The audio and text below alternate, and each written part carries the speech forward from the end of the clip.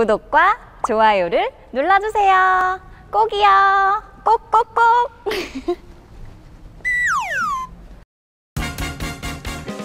미세먼지로 봄나들이 망친 날, 하루 종일 직장 상사에게 시달린 날, 이렇게 기분이 저기압일 땐 고기 앞으로!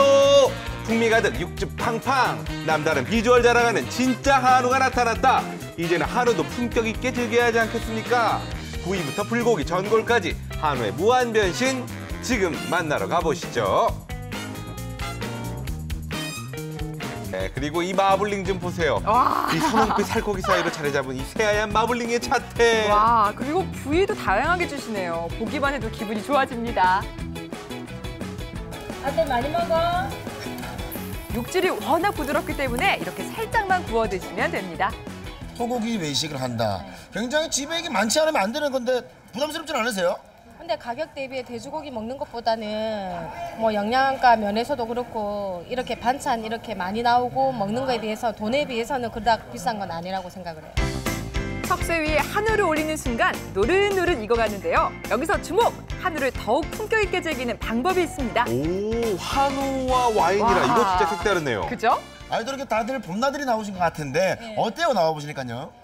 어, 일단 봄이라서 막 나오고 싶어서 나왔는데 가까운 그 통도 통도사에 가서 또 구경도 하고 어, 또 여기 와서 맛있는 고기도 먹고 하니까 너무너무 기분 좋습니다. 그래서 친구들과 같이 와인도 한잔 하면서 오늘 분위기 와, 마음껏 부려봤습니다. 한우만 먹어도 든든한 이유. 상다리 부러질 정도로 나오는 밑반찬에 깜짝 놀랐는데요. 계절 채소부터 영양 만점 도라지까지 봄철 입맛 돋우는 음식들이 총 출동했습니다. 거기에 제철 채소랑 먹으니까 건강에도 좋겠네요. 그럼요. 이 쉴 새 없이 입안으로 직진하는 한우. 너도 나도 행복하기만 합니다. 부럽네요. 고기 육즙도 많고 너무 부드러워요. 그래서 이 또 이제 나물 같은 거 싸 먹으면 느끼한 맛도 잡아주고요. 어, 너, 너무 맛있어요. 가격대에 비하면 굉장히 싼 거잖아요, 그죠? 가격대 비해서 너무 다른 데 비싼 집에 비해서 하나도 손색이 없고 맛있고 다른 반찬들 같은 경우에도 이렇게 나오기가 장사하고 돈이 남을까 싶을 정도로 좀 많이 나오고 자 이제는 물 맑고 공기 좋고 그리고 소고기가 맛있는 고장 우리 양산시 하북면에서 예. 앞에 있는 이 수라상을 만나보도록 하겠습니다. 한정식 집인 줄 알았습니다. 반찬이 굉장히 잘 나오네요. 예, 왜 이렇게 반찬에 신경을 쓰신 건가요? 원래 기본적으로 차는 이렇게 나옵니다 항상 항상. 예, 와. 그 앞에 있는 이 친구. 이 친구 이거 돼지고기 찍어 먹은 거 아닙니까? 아니 근데 그거는 저희들이 그 멸치 젓갈 기장에서 가지고 온 겁니다 기장에서 우리 밑반찬과 함께 출발해 보도록 할 텐데 앞에 있는 이 고기 부위 모양으로만 봤을 때도 다르거든요. 어떤 부위인가요? 제일 위에 요거는 꼬살입니다 네. 꼬살이고 옆에는 안창, 늑간살, 갈간살. 어허, 그 3종 세트를 냠냠 맛있게 한번 먹어보도록 하겠습니다. 자, 이제 우리 보니까 우리 그 숯을 논하지 않을 수가 없습니다. 앞에 보면 이 빨갛게 달아온 숯, 이게 대나무 숯인가요? 어떤 숯인가요? 국내산 참숯입니다 주로 고기는 참숯이 제일 낫습니다 고기 와. 고기도 중요하지만. 숯도 중요하거든요. 아우, 참. 그럼요. 아, 아 좋다. 빛깔 보세요. 빛깔 빛깔 보세요. 가위 한번 잘라보겠습니다 네.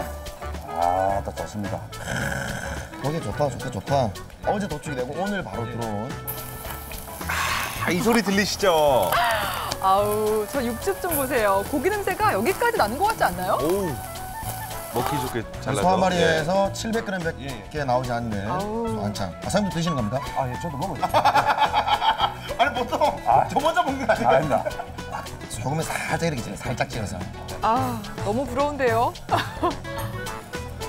육즙 난리 났네요 지금. 와 소고기를 많이 익히게 되면 찌릿해진다고 하잖아요. 근데 설 익혔을 때는 피기가 있기 때문에 피 비린내가 살짝 날수 있거든요. 아니, 안 근데 전혀 안 나네요. 예, 예, 안. 왜, 이러- 왜 이런 거죠? 수채서 어느 정도 그걸 카바를 좀 해줘요 음 신선함은 일단 기본이고요. 맛은 와 옵션이네요. 지금 여기 보, 지금 육즙 떨어진 거 보시나요 여기 보세요. 그거는 피물입니다 아 핏물. 핏물이요. 아 핏물입니다. 죄송합니다. 아하 핏물이었어요? 너무 담배가 너무 맛있어요. 너무 고소해요. 와 핏물도 맛있네요. 예 감사합니다 예. 거기에 쌈 채소가 다양하니까 참 좋고요. 여기에 천엽과 생강까지 서비스로 주시네요. 와. 뭐 고기는 뭐 갈비살부터 안찰살까지 이 정도면은 소 한 마리는 먹고 온 것 같죠? 아이고 배부르게 너무 잘 먹습니다. 네, 근데 사장님 근데 제가 고기만 먹고 가기에는 아쉬워. 이게 마음이 너무 착잡해. 왜냐하면 앞에 반- 밑반찬들이 얼마나 많이 남아있습니까? 이럴 때 밥과 다 먹어지는 게 있다면 얼마나 좋겠습니까 진짜. 있습니다. 어떤 게 어떤 게 있나요? 언양 석쇠 불고기가 있습니다. 근데 사실 저는 뭐 국물 하나 있으면 참 좋겠는데. 국물은 또 정신 특성이라고 네. 소고기 버섯 전골이 또 있습니다. 한우의 변신은 지금부터입니다. 시원한 국물이 담길 때 강추하는 메뉴 소고기 버섯 전골입니다. 요거는 밥이랑 먹으면 딱이네요. 그죠. 또 다른 메뉴가 출격하는데요. 바로 한우 불고기입니다. 하지만 굽는 방법이 좀 특별한데요. 석쇠 위에 한우를 고루 펴서 떡갈비처럼 구워주는 겁니다. 와, 이거는 무조건 먹어야겠네요. 이제는 고기를 먹고 나서 예. 후반전이 시작이 되었습니다. 앞에 보니까 아까 말씀드렸던 우리 석쇠 불고기도 있고 그리고 버섯향과 그 보들보들한 육질이 살아있는 전골까지. 음 메뉴만 바뀌는 게 아니라 반찬도 싹 다 바뀌네요. 그렇죠. 예, 된장은 또 기본적으로 나옵니다. 이렇게. 아 된장까지. 예, 예, 예. 보통 다른 데 된장하면 또 3천 원 줘야 되지 예, 않습니까? 근데 저희는 이제 기본적으로 석쇠를 시키실 경우에 된장은 기본적으로 나갑니다. 그렇구나. 그럼 이제 바로 먹어봐야죠. 소고기젓 버섯 아우. 전골은 이 채소와 고기가 푸짐하게 들어가 있어 골라 먹는 재미가 있었는데요. 한우 하나로 전골도 즐기고 불고기도 즐기고 오직 이곳에서만 즐길 수 있는 그야말로 한우의 품격입니다. 그렇죠. 똑같은 한우라고 해도 전골로 먹는 것과 불고기로 먹는 것이 차이가 있죠. 그렇죠. 어떤 맛이냐면요. 그 뭐라고 할까? 가만히 있어 보자. 그 노래가 절로 나오는 맛? 아우. 여기 보니까 감성 마케팅이 들어가 있네.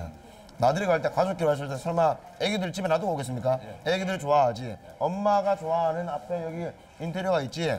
아빠가 좋아하는 전골까지. 와, 가족이 누가 사랑할 수밖에 없네. 어둑한 저녁이 되면 낭만적인 분위기까지 즐길 수 있으니 이만하면 추적 레시피 성공입니다. 자 오늘 이렇게 우리 물 맑고 공기 좋고 그리고 사람 냄새 나는 고장 양산 하북면에 와서 유원지도 둘러보시고 그리고 맛있는 고기와 와인 한 잔의 여유도 즐겨보시고 전골 그리고 석쇠불고기 얼마나 별미입니까? 꼭 한번 드셔보시기 바라겠습니다. 항상 오시고 나면은 요 가게 한번 드셔가지고 꼭 맛있는 음식 먹고 가시기 바라겠습니다. 이번 주는 양산시 하북면에서 외쳐보겠습니다. 류성현의 추적 레시피 건 한우가